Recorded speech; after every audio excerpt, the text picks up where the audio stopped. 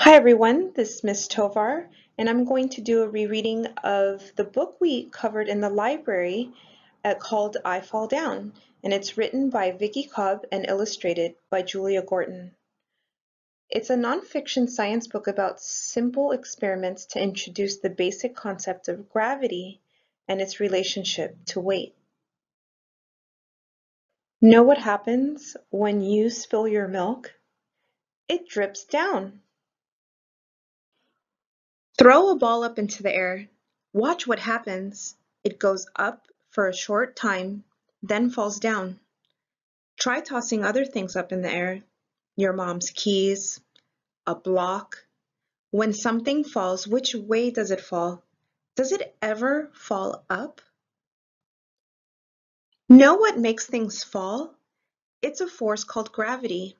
As long as you are on Earth, you can't get away from it. Gravity is always pulling things. Know which way? Down, down, down. You can see how gravity pulls. Take a spoonful of molasses or honey and point the spoon down so that the goo dribbles back into the jar. Watch it drip. The goo stretches and gets longer and longer it looks like a ribbon streaming into the jar. Gravity pulls the molasses from the spoon back into the jar. Have lots of dropping races. Things fall so fast it's hard to tell if there is a winner or a loser. But no matter whether the objects are big or small, it seems that it's always a tie. The only time you have a clear loser is when you drop something that the wind could easily blow away, such as a feather or a tissue.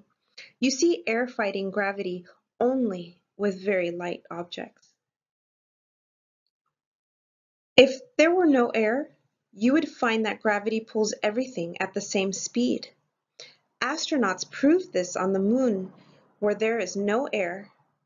Every dropping race was a tie. Amazing, but true. Does everything land with the same force?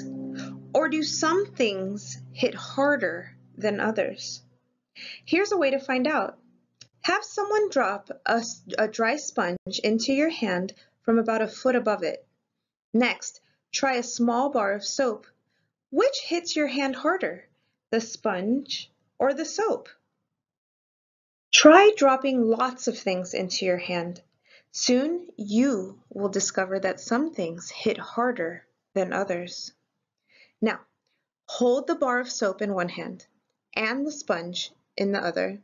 Which is heavier, the sponge or the soap? Move your hands up and down to help feel the difference. Your hands stop the sponge and the soap from falling to the ground. But you can still feel gravity's pull on the soap and sponge when you hold them in your hands. This pull is called weight. You can see if one object is heavier than another without letting either of them fall. Here's how. Get two rubber bands the same size. Tie one of your shoes to one rubber band. Tie one of your parents' shoes to the other rubber band. Lift both shoes by the rubber bands. Which rubber band stretches more? The heavier shoe stretches the rubber band more. Each rubber band acts like a scale to measure weight. Your weight is a measure of how hard you fall when you fall down. How much do you weigh?